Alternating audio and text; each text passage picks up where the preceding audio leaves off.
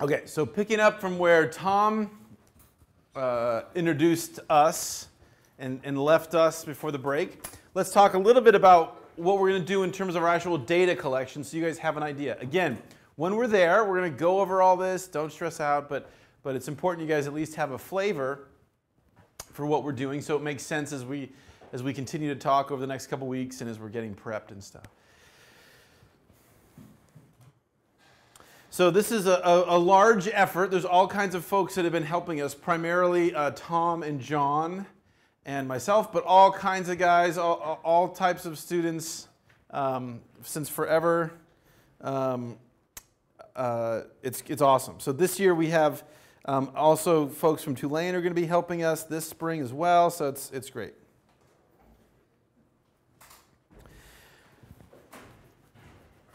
The very first time, our very first trip, again, this class began and is still at fundamentally its core. This is a service learning exercise. This is about showing up and lending our backs and helping out, right? This was not designed as a research expedition. This was not designed as some high minded intellectual class or something. It was rather let's show up and help. We, very, we first showed up, and Katie said, Oh my God, I need some help.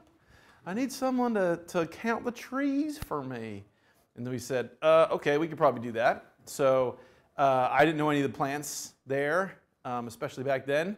And it was, what's going on? And so we started figuring out. Um, the problem was the um, community was tweaked by Hurricane Katrina. Radically changed the canopy, radically changed in effect, cut down a lot of the forest. These invasive species we talked about a few minutes ago blasted on in and started taking over. So the question was hey, how many bad guys do we have in here? And where are they? And so our initial approach was to use band transects. That's because where these critters were before the storm was primarily on the edges of the forest. They were in the trails, they were on the disturbed sections of the forest. And the intact forest with closed canopy, when it was, where it was dark or, or at least shady at midday, didn't have very many of them in there. So that was the key observation. The observation was where we have messed up forest, where we have broken forest, we have more of the bad guys. So therefore, um, with that observation, we said, hey, let's start our surveys relative to the trails, which were the historic dis disturbance points in the forest, the historic places, even before Hurricane Katrina, where there was or there already were openings in the canopy, openings in the, the community. So we therefore did everything relative to those trail disturbances. So here we go. We have a trail. It's a little cartoon here to tell you the kind of things we're going to document and measure and look at. So here we go. We have, we have a cartoon trail, and everything's going to be relative to that trail.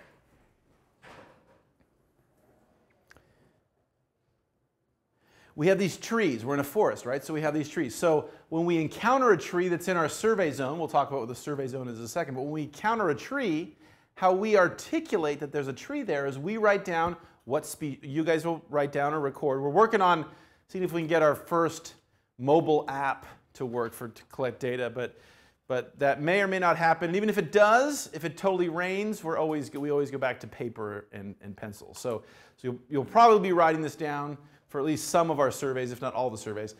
Um, but we're going to record the species. So what is it? Um, and then in your little survey area, we, we will document how many there are. Is there one individual? Is there a bunch? And what is the diameter at breast height? So again, that, that's how, how wide the tree is at, a, at your chest height. And then how tall is the tree itself? So these, these are, so the number is density. These other measures are a measure of demography, a measure of the, the morphology of this. Is it a short guy? Is it a tall guy? Is it a young guy? Is it an old guy? And with trees, the younger the tree, the smaller they are.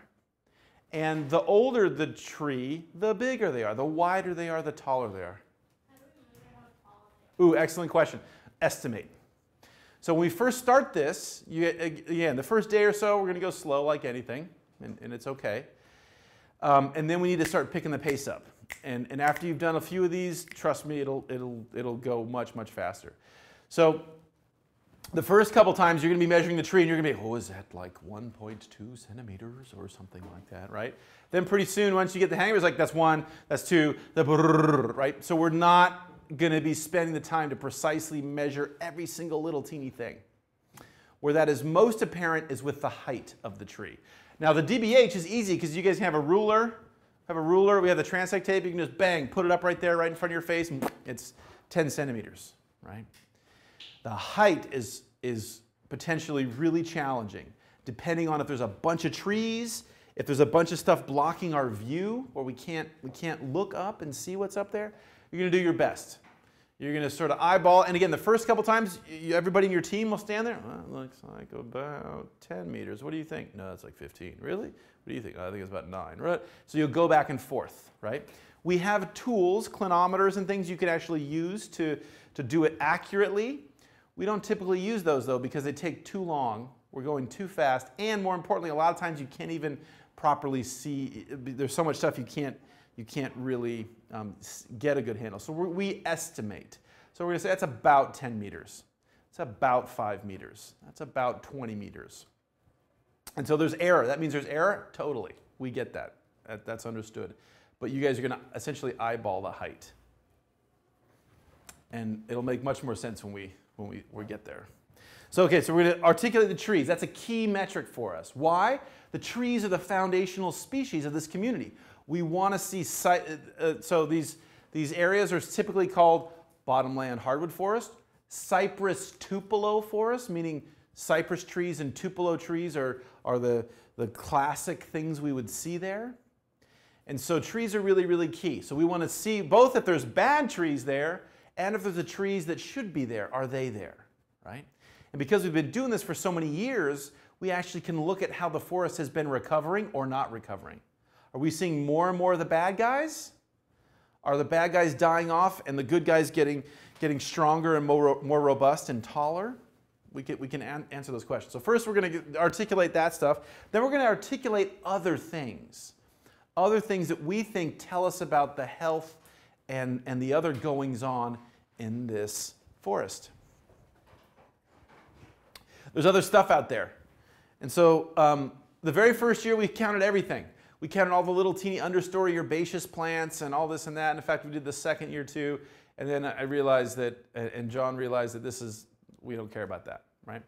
So we, we focused on just a subset of the understory.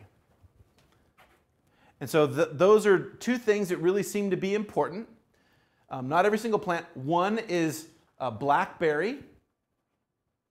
Hard to know what the exact species of blackberry. We think there might be up to three species of blackberry. We just call them blackberry. We just lump them all together. Rubus. Rubus, right. Blackberry is a disturbance loving thing, a disturbance philic thing. If we had a really healthy closed canopy, dark canopy, we'd see none or almost no blackberry. So blackberry is where we have a trail. Blackberry is where a tree fell down and created a tree gap in the, air, in the area. More about blackberry in a second. So blackberry is, is, at least in a general sense, some measure of disturbance. It doesn't mean bad. It doesn't necessarily mean it's evil, but it means disturbed. Ferns. Ferns are native. Ferns only grow where it's shady. If we have an open canopy that's crazy hot sun, baking hot sun, the, the ferns will, or whatever ferns were there died. They just can't handle it, right? Just like, where do we see ferns? We see ferns in creeks, right? We see ferns in wetland, misty, cool areas. So ferns are an indicator that we have a pretty intact canopy, or at least, at least um, a modicum of, of closed canopy. So those two things are important. So we're going to say the, the, the percentage of blackberry cover, the percentage of fern cover. And then there's some other stuff, right? This is, this is a natural system. There's all kinds of other stuff going on. So other things we're going to denote are um, uh, fallen logs. Fallen logs. So what is a log for our purposes? Our purposes are a log that is a wider diameter than my forearm, than your forearm, okay? If it's something the size of your thumb, if it's something the size of your two fingers, no, that's just a branch, we don't care about that. So we had to have some criteria, right? Would we have a, is a log bigger than a meter in diameter or what? And so we just years ago settled on bigger diameter, uh, larger than the diameter of our forearm is a log. So we're going to articulate those guys. And then another thing, another thing that's not, and so obviously logs are not alive anymore. Key part of the ecosystem, they degrade. The fungus gets in there, beetles eat them, important part of the ecosystem, but not, not alive anymore. Another part of the ecosystem that's not alive are the leaves that have fallen off the tree, or, or duff, or, or parts bark maybe that has fallen off the tree. And we create this, this stuff that will eventually break down and become soil. So that's key. And again, just like the ferns are an indicator of a relatively healthy forest, so is, is relatively thick leaf litter. Why? Because we have all these leaves, and the leaves would be falling down and creating some layer of thickness. Where we've had the place nuked, and there are no trees or no living trees, it's going to be either, either um, no litter or at least much thinner litter. So we're just going to give it a rough estimate of depth. Boom. Is it a centimeter? Is it 10 centimeters? What? So those are the things you're going to articulate. Last couple things are canopy cover. we will have two gross measures of canopy cover. So you have to do a little bit of imagining here. The first is what we call overstory. So if you looked up in the air, that's over. So overstory meaning stuff above our head. In, in, the, in the context of this forest, means stuff above our head.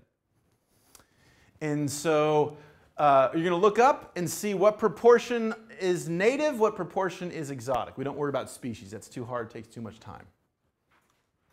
Generally, for the stuff we're going on, there's going to be 100% native, or, or, well, yeah, whatever. There's, open sky as well. But if, but if there's stuff, it's either going to be 100% native or a very high proportion of exotic, or maybe you know, a mix. But it's, it's, it, generally speaking, it's not going to be a really hard one for you guys to figure out. You'll, you'll be able to tell. It's either going to be tons of tallow around you or, or not a lot of tallow around you, for example. So what you're going to do is you're gonna, we're standing in the forest. I'm looking up.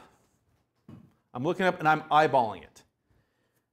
I'm imagining I'm in a balloon, you know, 30 meters above my head looking down, right? So imagine we're flying over with a drone, looking down, and, and that's what we're going to get for the estimate of the cover.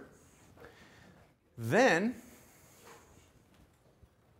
we're going to do, oh, yeah, okay. So those other things I mentioned were the understory.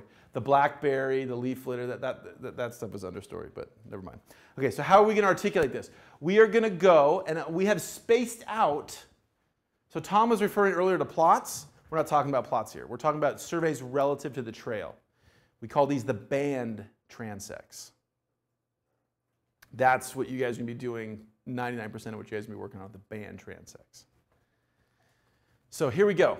We've had these areas spaced out, and they're, they're, they're flagged. The very first day, the very first day when Tom is teaching you guys the plants, I'm going to be driving around in a four-wheeler thing and stopping and reflagging these things that we've flagged every year. So every 50 meters, we've marked these sites out. So we go back to the same spots in the trail.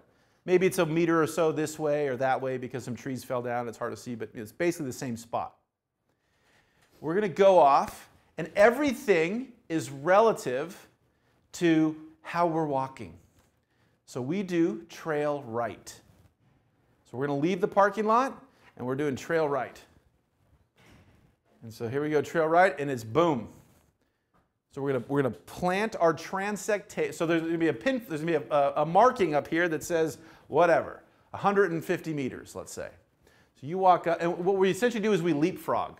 So we all start out, and, and I put team one on 50 meters, team two on 100 meters, team three on 150 meters, etc. Right? And some sites, just because of the lay of the land or how the plants grew, are to go super fast. Others that have a ton of blackberry will take you a lot longer. So, um, and, and as, as you guys are getting better and better as the week goes on, you'll be getting faster and faster. So the general approach, how it's going to work is there's going to be a team on this. As soon as you finish, you walk up and you're going to be walking past the groups, and then when you get to an undone one, you do that. So it's a, we're all leapfrogging around each other, right? So we're all roughly in the same area when we start. Okay, now um, I, we have transect tapes. We're going to put the transect tape, start it in the middle of the trail. So in some cases the trail is about a meter wide, in some cases the trail is about three meters wide, whatever it is, we're going to pick the center of the trail. I'm going to hold on to my tip of my transect tape and it's going to start. I'm going to take that transect tape and run straight off 90 degrees to the trail off into the woods. Boom, straight on out. Okay? And that's going to define the, the, the, where we're going, right? In a straight line. Now, again, this is one that you guys will figure out rapidly how to do this.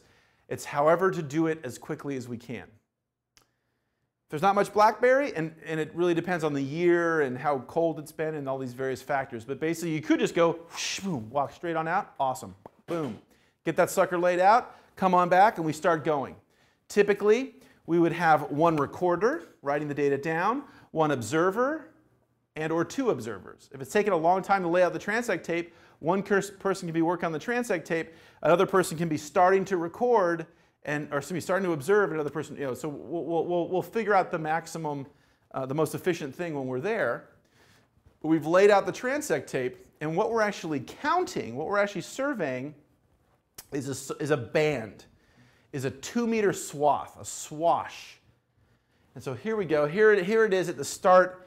And what, we, what you're doing is we're walking into the walking into the forest, and we're counting all of the things that are within that area.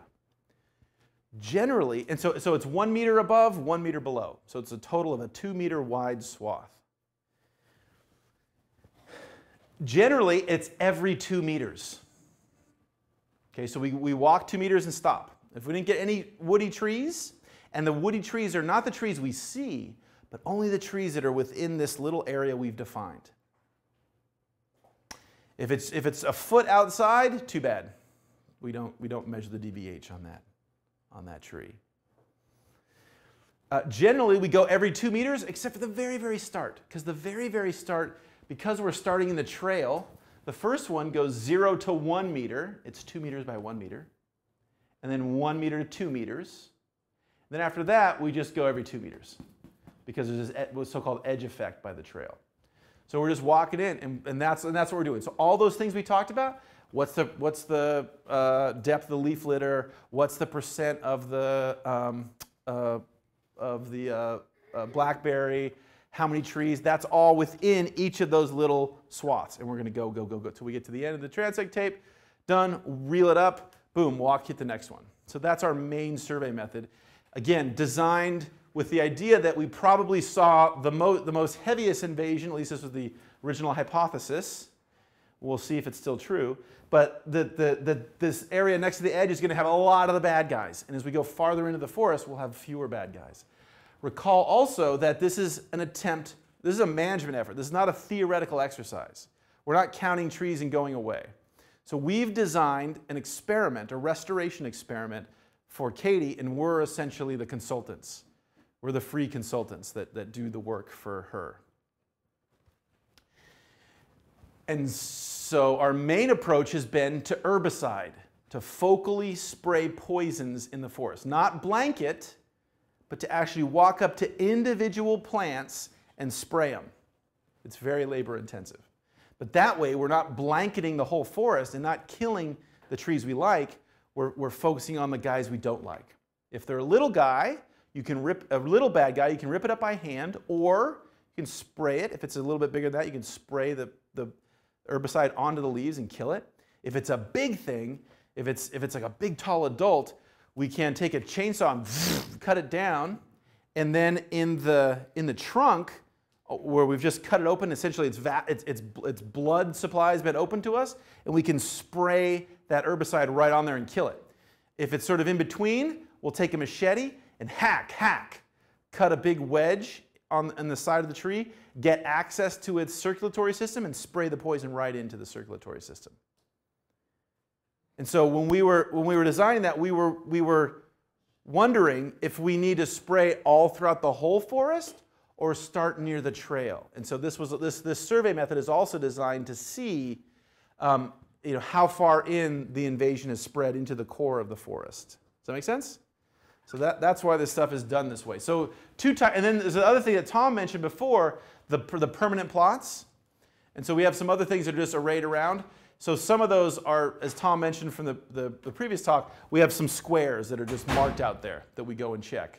So there's those permanent plots and there's these band transects. The vast majority of our data come from the band transects. There's a lot more data from, from those things. Cool?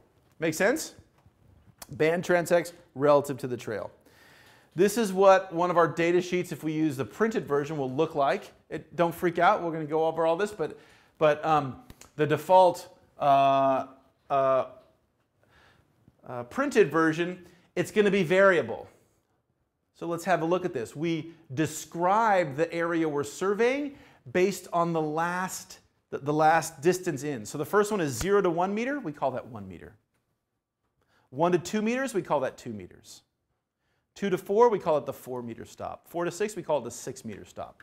And so what we've done here is, here we go, we have, and we have different trails, we have different sections, they have different letters. So in this one, this is, this is woodlands, and this is a path A. It's the distance is 150 meters. Um, now, if this is an example, but we would have all, all, my team members' names on here, and you guys will get to invent your own team name. So you guys, I already can tell some people are going to be the 60s disco kings or whatever the heck, right? So we got that going on. And then if you have a look at it, this is, this is a dynamic data sheet that's meant to be uh, uh, useful in a lot of contexts. Now, in this first stop, here we go, stop one, we had a tallow individual that was 0 dBH. He was, he was a baby. It was a baby. At, at, at breast height, there was no plant. It was shorter than that. So it, it is a zero height. It doesn't mean there was no guy there. It means there was a guy that had a 0 dBH. So he's a baby. And then the height, surprise, surprise, the height is 0.3 meters. Cool? Then here is a red maple that was one centimeter and 2.5, etc. So now in this case, there were four trees. It just so happened in this plot, there were four trees, that, woody plants that we encountered. So this one has four. And then we just draw a squiggly line or a line to divide it. And then here we go. Here's the next stop. In this one, there were two mulberry. Is that mulberry? I guess that's mulberry. Um, uh, so, so a mulberry that was half a centimeter at, at uh, breast height and then one that was smaller than that. At plot four, there were no woody trees. So I just wrote none. At plot six, wrote none, right? Always positively noting stuff, not skipping over. Because by, by positively saying there was none or zero, we know that we didn't just space it and forget to write it down, as sometimes happens when we're working all day and we're getting tired. It says, actually, uh, there, I looked, we looked, there was nobody there. So as you can tell, in some cases, if we happen to have a transect with very few woody sheets, woody tree species, we get all of the whole transect on one sheet, maybe. In others, we might need several sheets. So the idea is it's flexible. So anyway, so we'll, we'll talk about getting the data. Um, and then you guys will all have a um, notebook that you can also use to make comments and notes to yourselves. On our first training day, we're going to walk around. And You guys are going to grab your own leaves and put them in there as you're going along, anything you can't figure out what it is, it's too, it's just weird shaped, don't know, can't tell, take a cell phone picture of it, take a sample of it. The best thing is to take a sample, put it right here in your book, write the survey name, this is 200 meters, uh, you know, all this and that, write this up, and take a picture and have it here. So then you can then come up well, first you can take a picture. You can email it or text it to John or Tom or me. You can say, hey, what, do you guys know what this is? And maybe it's something totally obvious and you guys just haven't seen that much of that. And so we can fire right back, oh, that's a, that's a whatever, that's a red maple. Or if it's something that's either hard to tell or not sure, we would say, nah, don't know. I'm going to call that unknown plant 7 for my group. If I see more of it, I'll just keep calling it unknown plant 7. Then we get together at night or whatever, we can look at it and I've, I've saved a sample now. So now, even if we're far away, Tom, and I, all I've done is taken some clear tape that you guys will all have, and I've just taped it in, right? Like sort of pressed it flat. So cool. I've taken a photo of it. I have an archive in case my, my book gets destroyed, and I have this unknown thing. And have, have, have this, this. So later on we'll talk, and then it, we, John, John will say, oh, it's a blah, blah, blah. Or Tom will say, oh, it's a blah, blah, blah. Then you go back to your notebook, cross out plant 7 and write the name in it, and go back to your data sheets and change all the plant 7 to whatever. Make sense? Anything you guys aren't sure of, anything you're wondering about, take a sample, tape it in your book, no problem. So that's how we'll, be able to crank. And as long as you guys keep track, as long as you're consistent, well, I'm calling this plant 7. It's probably red maple, but I'm not sure. Let me call it plant 7. That's cool, right? So the first day we'll do a lot of this. Second day, a little bit less so, and then every day it'll be less and less and less. Is that cool? So you guys don't have to freak out even if you if you're worried about forgetting things. We'll, we'll have we'll have cheat sheets, we'll have plant guides you guys will have with you, waterproof plant guides, all this kind of stuff. Um, community ecology is real important, and, and this is, a, for example, a wetland for us. This is a Malibu Lagoon before our recent restoration. This is what this area looked like before Hurricane Katrina hit. So have a look at that. It's, it's you know, big tall trees, go up several stories. It's dark underneath. Look at all those ferns. It's, it's a classic southern bottomland hardwood forest. Classic swamp. This is what it looked like after Katrina on our first trip, or one of our first trips. Look at that overstory. It's all open sky, right? It literally has been crew cut. The, the, the, the top parts of the trees, the leafed part of the trees, the articulated branches were just snapped off by the incredible winds. And in this case, you can see all these, there's, in this case, down trees right there. So this is what we're, we're trying to fix. So Tom already talked about where, we're, where we are. Um, as you'll see, Woodlands, which is our, our historic place we've been working, has a, has a trail. So we're going to park over here, and we're going to walk in, and we have a, a loop trail, right? So we'll, we'll go on this loop trail here. We'll go up here. Here's trail C. We call this C. This is, this is A. And, and we, will we'll get different distances as we go out into the site. Um, you know, don't write this down or anything, but I'll just run through this real quick. So where these sites are, are, well, Woodlands is just outside of Orleans Parish. The Delacroix site is actually inside uh, the city of New Orleans boundaries. So it's kind of cool. So in our case, that means we're working on reforestation in the city of New Orleans and outside the city of New Orleans, even though we're very close to each other. We just straddle the border. So that's advantageous. That's advantageous from a funding standpoint. There's some funding sources we've gone after that are for urban reforestation.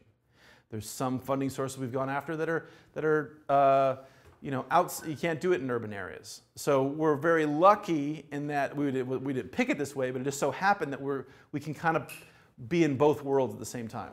So we're about uh, 10 kilometers from the, from the French Quarter, basically, from the, or from the Central Business District. Um, the area of, uh, of our core historic area is about 247 hectares. This is it. This is it. There will be no more swamp between us and the ocean in a few decades. One, there's not much, as Tom showed you before, there's not much. What's left is eroding. We talked la uh, uh, last time, we talked about wetland loss and all this and that. It's going away. So all of the sea level rise plus climate change models plus screwed up Mississippi sediment deposition show that we're going to be it. This place that we're reforesting, it's either going to have a lot of forest and be the last buffer for storm surge for the city of New Orleans, or there's going to be nothing between us and New Orleans. So when the next big hurricane comes in, the next big wash of a wave and a storm surge, there won't be anything to break that up. So this literally is the last defenses we're working on, uh, last natural defenses. There's levees and things, but the last natural defenses we're trying to solidify for our friends down here. Um, and like I said before, it was largely ignored for a long time. People thought it was some, somebody's private place and this and that. And so only recently have people come to appreciate the value of this area. As I said before, Katie incorporated her nonprofit first in 2001. And uh, because of what she saw, because the, the, the, cutting down of the forest she, she saw, she was worried about that. And this is really part of a, of a truly uh, broad based effort, folks in New Orleans, folks in Plaquemines, to create greenbelt, urban places to recreate. They're also, this as you know, we get sometimes, we forget what a lot of the rest of the world is like sometimes here in California. City of Thousand Oaks, there's only one other city of the same population that has more green space in the US, right? We have a lot of, we have the Santa Monica Mountains, we have a lot of places. If you want to go hike outside, if you want to clear your brain, we can do it on campus. How lucky is that? We can go up the hill and get in Satwiwa. We can go to the beach. Um, that's not necessarily the case in a lot of our urban areas. And so this is a place we're trying to make uh, such that folks from New Orleans can come and ride a bike, take the ferry over, take ride a bike, and actually be able to not spend a bunch of money, not have to pay park fees or whatever. This is a free area. You just park, and, and so that's an important uh, aspect of what we're doing as well. Um, and so, like I said, we started our, these, these hikes in 2007, really motivated by those three species that Tom pointed out to you earlier, those three problem invading invader species, all of which were here before Katrina, but all of which were went crazy after Katrina. So, so they were here, they were a problem before, but they just got even to be much more problem, particularly spread into our few remnant patches of uh, natural uh, woodland before.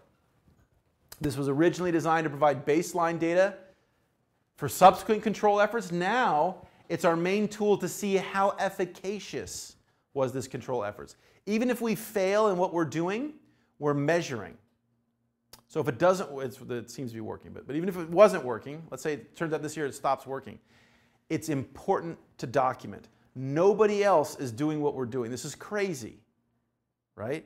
These are these weirdos from California and Oregon going to Louisiana and helping these folks out. You would think that there, there would be a lot of local folks that are studying the efficacy of the control of this stuff. There, there aren't. There, as with so many of our problems, there aren't a million people lined up to solve it, right?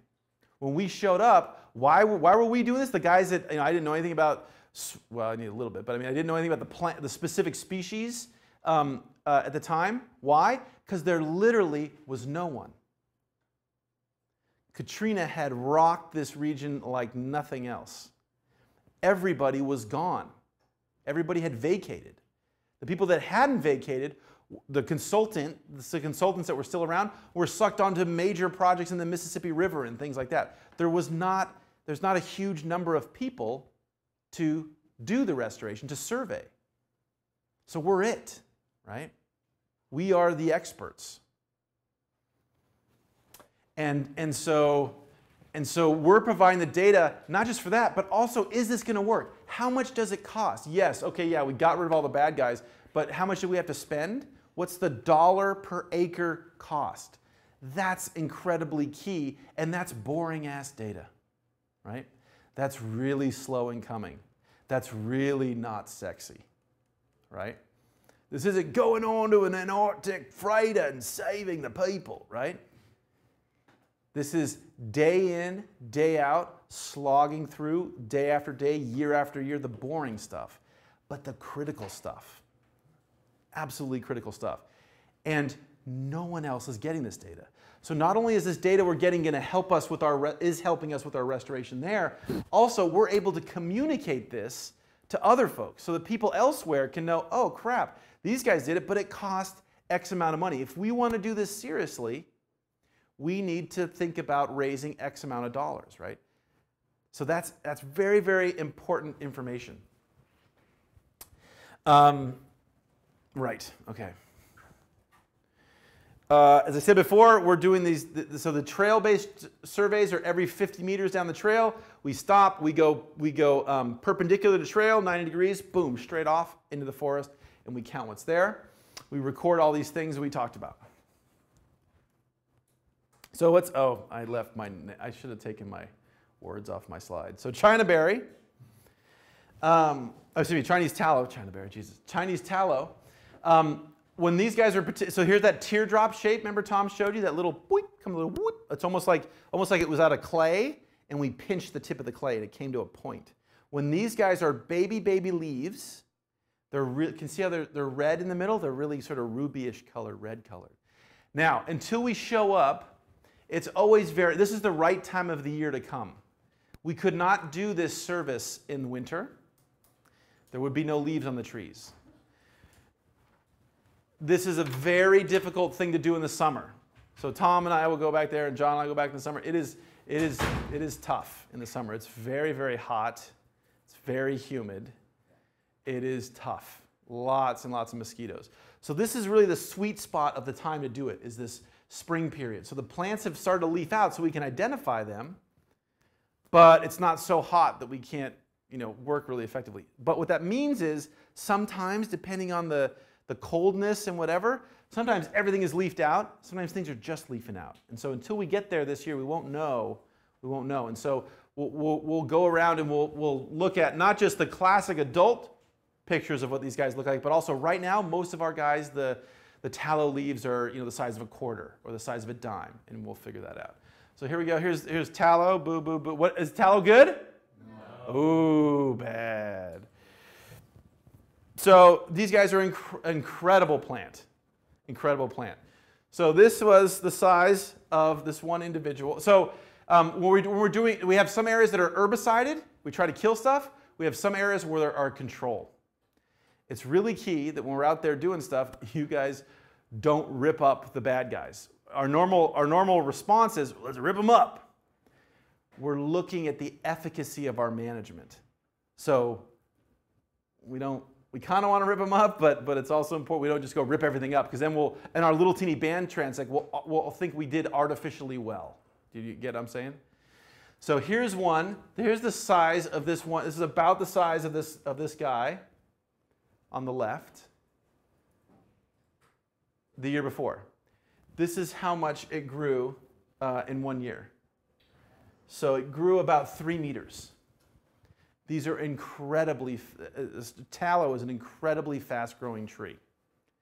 And so, and that's compared to cypress, which is, you know, it's, it, it, it's like our, our, our sequoias and stuff. It's a great big tree, but takes a long time to get there, right? Tallow is more like a weed it's going to take off and go. So we have uh, tallow. Here's China berry. Here's, here's a just leafing out uh, China berry. You can see all those kind of pointy, almost like pot leaves kind of thing. Um, and then sometimes you'll use the leaves. Sometimes the stems are really uh, helpful. So in this case, China berry has these, uh, when, they're, when they're young, they have these stems that are this dark color with these little white, um, uh, typically horizontal bumps it looks like on them. And so that, that that's a, a, baby one. Uh, here's our privet. You guys have seen this all before. That's not a pinnately compound leaf, by the way, guys. That's an op- those is called opposite arrangement, where where each the, each leaf there for there's a pair of leaves, and one and they grow opposite each other. Is this a good or bad? Boo. Boo. We weren't booing Tom's description, we are booing the plant. Uh, so here's one. So here we go. Privet, right? That's the adult. Sometimes they look all skanky because they've been bitten. They were, they were, they were, it was cold and they were just starting to leaf out. So these things can, can, can look, can be difficult to, to identify, especially early on. Not sure, take a photo. In the photo, make sure that we've written what the plot is. This is, you know, trail whatever, distance whatever, stop whatever and you know, text it to Tom or John or I and ask a question. If we don't know, we'll figure it out later. Okay, there's only a couple organisms I don't want to flag for you. A couple organisms. Just again, we'll talk about more of this when we're there, but just as a quick uh, pinhole in your eye. So, uh, anybody know what this is? Otter. Yes, yes. River otter. We have we have sea otters. Those guys have river otters. Um, and we might sometimes come to a screeching halt in the middle of the road because I'll be doing our roadkill surveys because that's what I like to do. And uh, we've unfortunately seen roadkill otters. Uh, yeah, it's super sad. It makes me cry. Yes, but we have otters. This is a blue crab, which is, he's, he's sort of chumping on that blue crab. So blue crab's incredibly important, incredibly important food source. Humans, but also everybody eats them. The birds eat them, the, the otters eat them, everybody eats them. Okay, so let's just talk real quickly and then we're almost done here. Uh, things to just put in the back of your head snakes. We do have snakes there. Everybody freaks out about snakes. We really only really have one problematic snake here where we live. We're lucky. We have the western diamondback rattlesnake, venomous snake. Uh, so we're moving to the not technically the tropics, subtropics, but we're moving more tropical when we go to Louisiana. So we're getting not only are we getting the, eastern deciduous forest, these trees are another part uh, uh, of our wonderful country that we're getting a taste of. We're also going to be getting a taste of other critters that have a more southerly distribution. And so um, here's an example of a snake uh, on the middle of our trail, not venomous. This guy's not a problem. But there are on the order of a couple dozen snakes that are venomous there. The general rule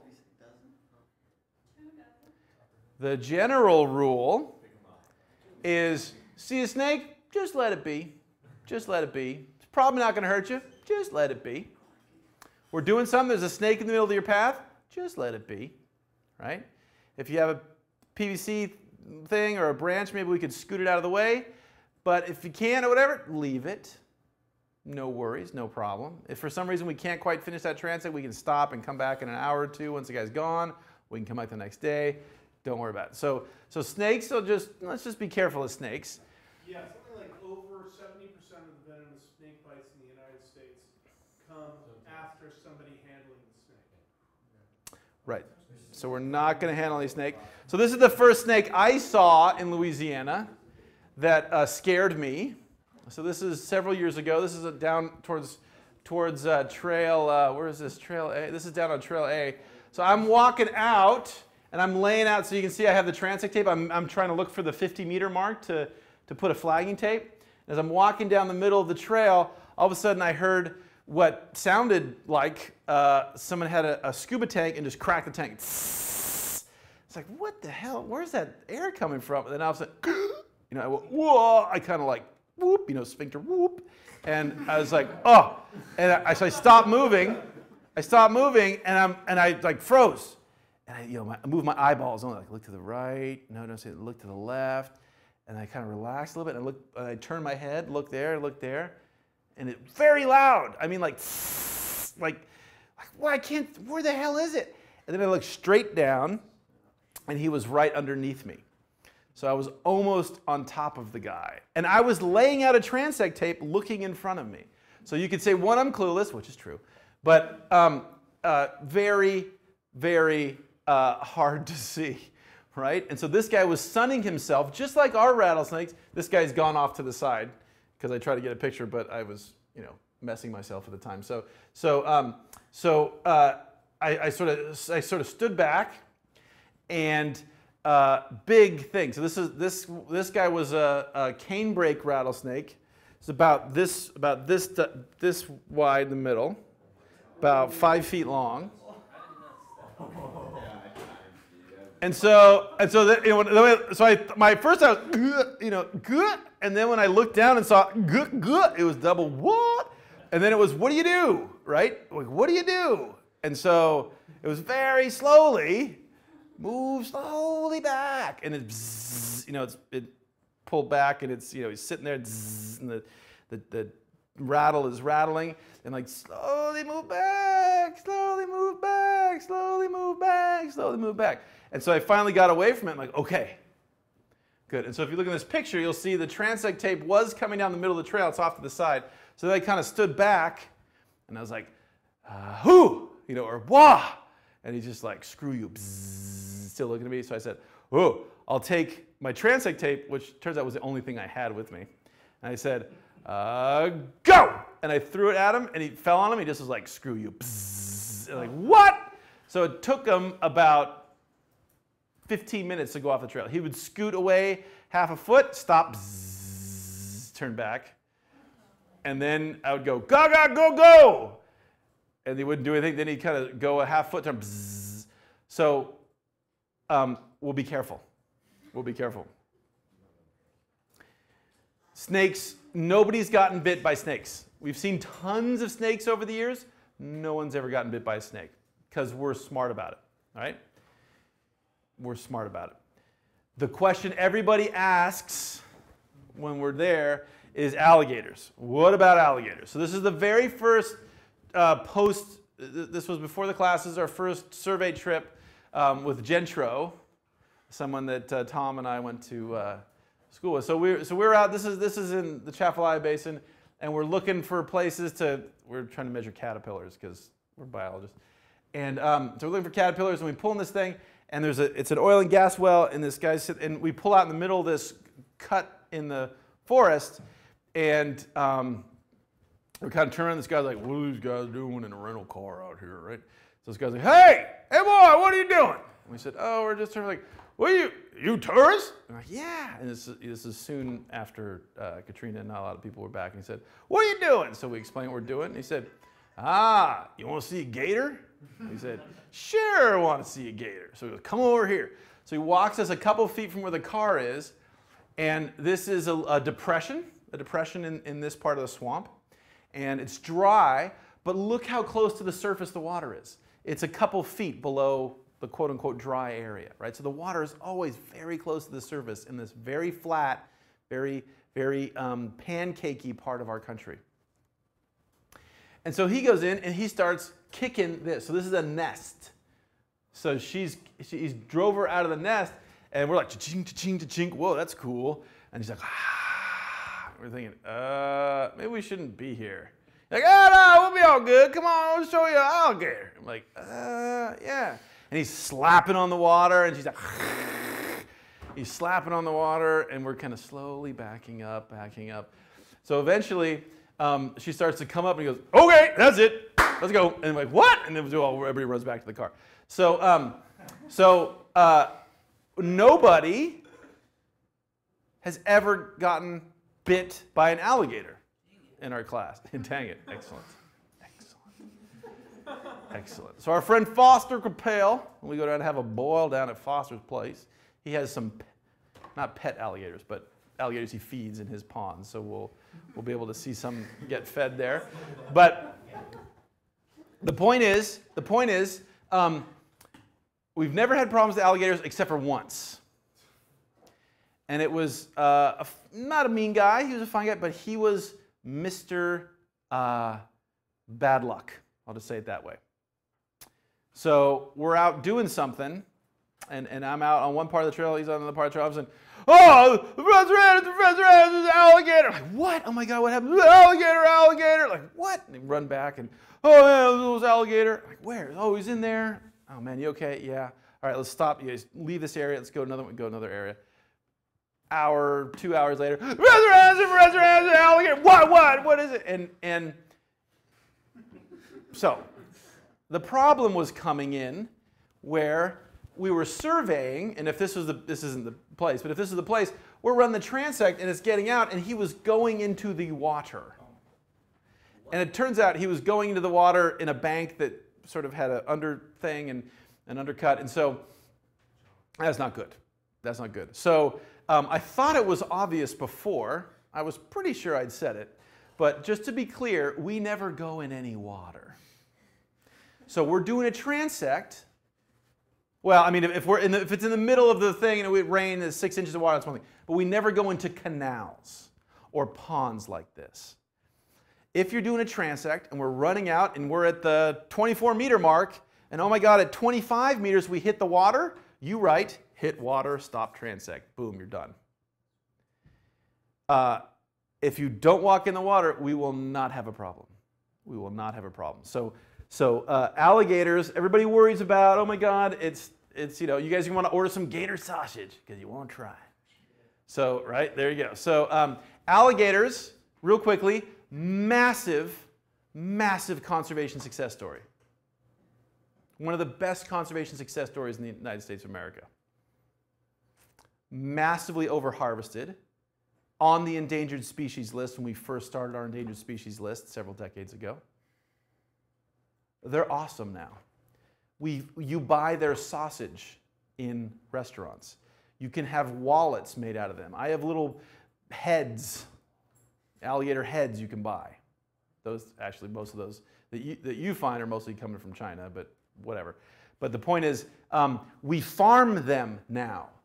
The stuff that you're eating, the stuff that you're making your boots out of, are farmed individuals. The wild populations have recovered tremendously well. We still have problems with feminization with because of endocrine disruptors and plastics and things, and it's not not perfect world, but super numerous.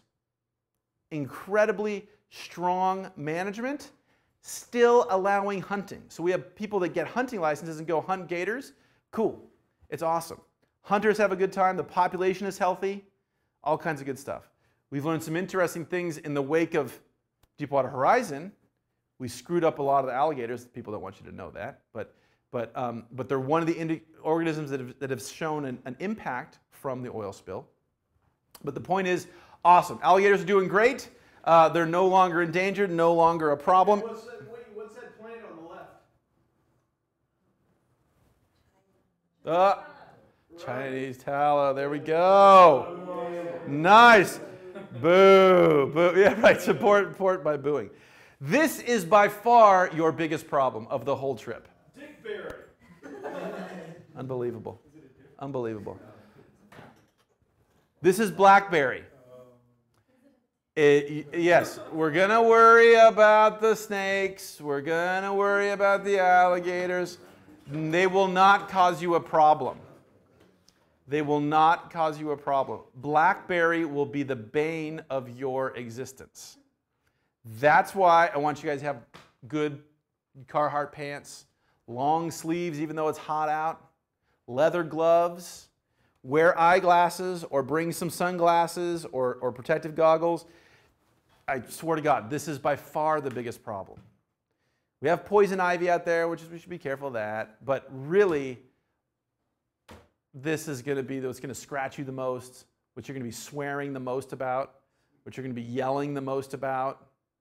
You're not going to be freaked out of the snake or the alligator or the whatever. It is the thorny, crazy guys. And in this case, you can see this is sort of early spring photos. So this guy has uh, some, some flower. Uh, uh it, it's just sort of flowering. Um, uh, sometimes, some, some of the year, depending on what's going, if you have a nice patch, they'll actually have berries. You can actually eat them if they're, if they're clean and nobody's been peeing on the leaves or something like that. Um, nice, they're good, that, but, but they are tough. Um, so, to deal with that, we will be using machetes. Right, there we go. See, everybody loves them. Uh, as always, the males say awesome. The women are like, what is that? Uh, so, uh, we, so I have a video online I'll show you of proper machete technique. Very key. Very key. This is another dangerous thing. Because when we're there and we're showing you how to use them and you're first using them, you're going to be great. And the first 10 feet, you're going to be great. Then you're going to start to get tired. And on hour three, you're going to start to get tired and and that's where you're going to have problems, right? Or, or potentially have problems. So you've passed the cocky, you've passed the, this is brand new, I want to be, be really careful stage, and you're getting a little cocky. I know how to do this. I'm, uh, wow, wow, lightsaber, Star Wars, right? All that stuff. And then, and then you're going to start to get tired. That's the dangerous time. And the blade will start to get a little bit dull because you've been cutting for a long time. So that's when we really want to step back, take a breath. Okay, I want to do this safely. So safely in a couple senses. You don't. That's also why we wear our hiking boots. You know, good, good, solid protection. And so if something does slip, we have something between our skin and this, our toes in this. So when we want to be careful with that, so we're always going to be looking in front of us, making sure. The other thing is sometimes people are rah, you know, like throw it behind them and rah, rah. No, we don't do that. We only keep it in front of us. And a nice, you'll see in the video, nice steady. So I broke my wrist up at John's place last uh, two Decembers ago. And so I had to go to physical therapy. So I have an awesome physical therapist for my wrist, Reika. And so I said, hey, can you show me how to properly ergonomically use a machete? So we have an actual hand physical therapist showing us how to properly use a machete. Pretty awesome. Pretty awesome. So, so, so you guys can watch Reika's video and she'll like, ah, Aha. And so, um, so proper thing. So it's, it's a solid grip. It's a solid grip. It's not so solid that you get hurt, but it's always in control. And we'll talk about that. So, on all, all honesty, the most dangerous things are going to be the blackberry and you trying to get through the blackberry. The other thing about blackberry is you don't need to cut it. Usually, usually, unless we have a crazy thick infestation, you don't need to cut it that much. You, you know, the first couple times you're like, yeah, but to do this, right? You're gonna do the first couple. you're, gonna the, you're gonna do the first couple, and I, I get it. I know it's cool. It's swords and everything. I get it's all good. Lightsabers, it's all good. But but after you've done that, right? After you've done that and kind of burnt through that glucose, then you kind of think about it, and the goal here is not. And so some people, I'll just say, usually males, uh, they want to make a massive archway through the cliff, right? and so I've seen some trails where it's like, it's awesome. It's like some, I'm going to my wedding through the arbor, right?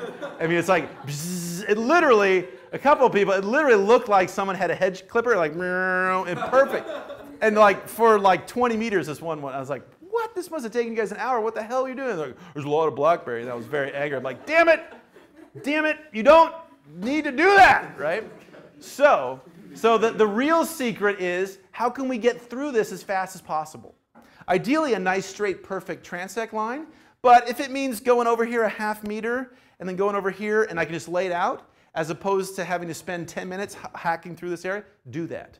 So most of the time, you can use your machete as, as a parter, a parter of the blackberry, and you don't need to, I mean, sometimes, of course, you need to cut and get, make through, and get through.